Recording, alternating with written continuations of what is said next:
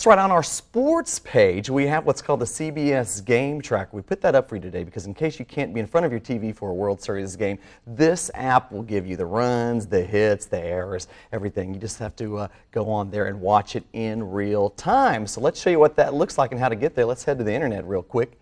And I'll tell you what, I am literally heading to the internet today. Here we are in front of our homepage, newschannel6now.com. Uh, pay attention to this banner right there. It's just going to be here today. Work hard, work smart is going to be live video streaming from the Wichita Falls Business Expo from 5:30 to 7 today. So keep your eye on that. Let's talk about the CBS Sports Tracker. How do I get to that if I need to be kept up on my Rangers today but I can't be around a TV? Well, I'll tell you what, you just head right up here to the sports uh, word right here in the menu. And you just click that, and it'll take you to our sports page. And here we are. And right here in the top story rotator page is where you can find the CBS Game Tracker. You just click that, and that'll take you right over here to the CBS Sports Game Tracker page. Let me tell you on this game tracker, it's like I said earlier, you can get the box score, you can get balls, strikes, and it all is updated in real time. It's a wonderful little app. I suggest you check it out if you can't be in front of your television for any of the games. We put it up for all of the World Series games. Hey, check back with us at 6 because we're doing a caption contest with a couple of photos